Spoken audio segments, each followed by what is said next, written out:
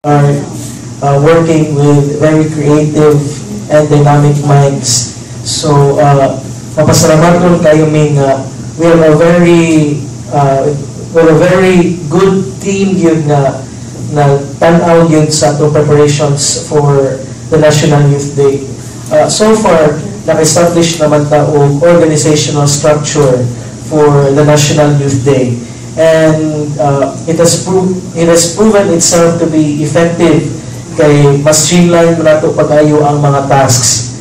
And karon uh, atong mga committees na halos ma-complete na gyud salamat sa atong mga cluster coordinators ng uh, namatay clusters na ito managit tunga ang committees according to their respective clusters. So natay secretariat natay program cluster at General Services o Finance. So, kaya ito mga volunteers tanan, youth gini sila.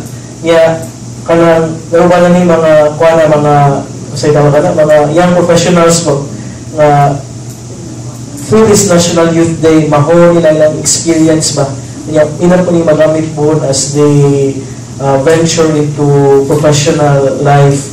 Muna siya, ano nga, pasalamat ko kay kung uh, we have a very creative team who is and dynamic team also nga nag-10 hours sa preparations in the National Youth Day. Nga nag-implement in preparations. Actually, kani concept ani ko yata concept man yun sa mga batanon kay kanang kung ba kanang of course in the youth ministry let's face the reality nga we don't have enough funds. So we are uh, finding creative ways to raise funds. So the youth pledge their creativity their talents So some of them will sing, some of them will do a do a theater act, yung iba na nila musayaw, para lang to contribute to the National Youth Day. So para siya mo ka, talents na yun na sa kabatanon na, talents yun sa kabatanon na itong i-highlight anak kay mo lagi, ako man yung pledge para kaning National Youth Day na mahimong successful.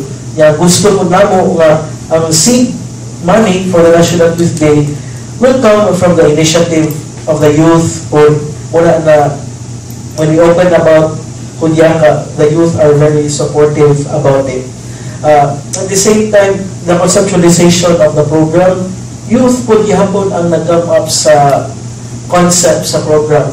Uh, in our later uh, dealings with, uh, with you guys, we will reveal the program na come up. Na naman the initial program, and I tell you, when people, young people come up with a program, it is really something unexpected yun. May ka, uh, very creative kayo ang mga batanunan when it comes to conceptualization.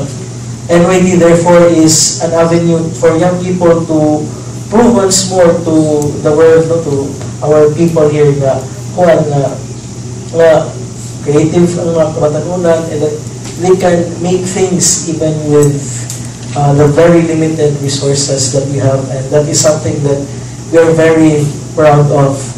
Give the youth scraps and they can come up something nice from it.